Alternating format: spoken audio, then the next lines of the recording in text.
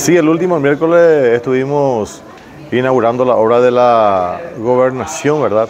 Sobre la doble avenida de General Marcial Samaniego entre la calle Asunción y, y Balbuena, que asciende a los 6.000 metros cuadrados de adoquinados, no empedrados.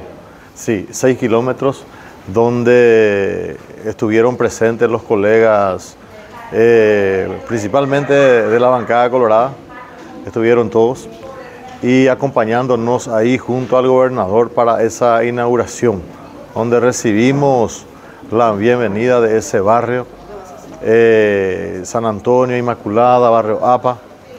Los vecinos muy contentos por, por la obra, es un progreso enorme para esa zona de la ciudad de Bellavista Norte, ya que se encontraba medio, como se dice, en el fondo de la ciudad, esa, ese lugar, y une a, mucha, a muchos barrios. Y eso es interesantísimo. Y Bellavista está muy contento por las obras que estamos realizando, la gobernación. en estos 6 kilómetros de adoquinado? Eso se invirtió, hay un, un 1.580 millones, pero hay un sobrante que se está haciendo en la cancha de carrera sobre Benjamín Costán también, que será remitido para, eh, para ese fin. Sería doble avenida y se estará haciendo más de cinco cuadras de adoquinado también eh, sobre la calle Benjamín Costán. Ahora la bancada liberal, ellos cuestionan de que hay dos cuadras que faltó por hacerse. ¿Qué puede manifestarles? No, eh, los pagos se hicieron sobre los 6 mil.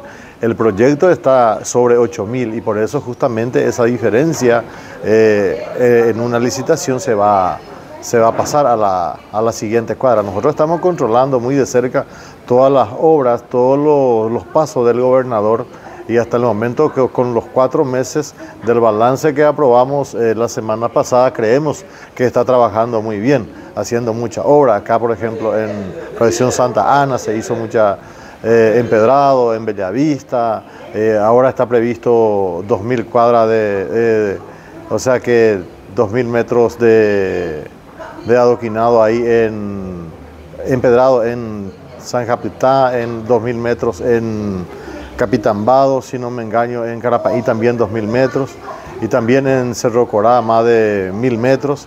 Entonces creo que eh, se está trabajando de forma correcta. Nosotros mismos, ¿verdad? Como Contralor, eh, tomaremos cartas al asunto en su momento si es que algo eh, anda en forma irregular. ¿Por qué? Porque queremos que nuestro departamento mejore, queremos que las ciudades mejores.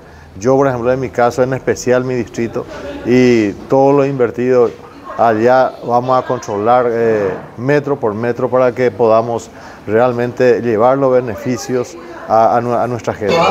Vista que se convirtió en una ciudad turística Nosotros ahora con la votaciones y ahí está el resultado. Juan se van a ver Entonces, eso es lo que Sí, exactamente. Tenemos una excelente playa, eh, una ciudad que está creciendo bastante, eh, muchos turistas por, por los fines de semana, eh, principalmente se van acá de Pedro Juan, vienen de Asunción, de San Pedro, de Concepción, y le invitamos a todos para que conozcan nuestra playa, una hermosa playa, eh, el Ojo del Mar, ¿verdad? Que tenemos también.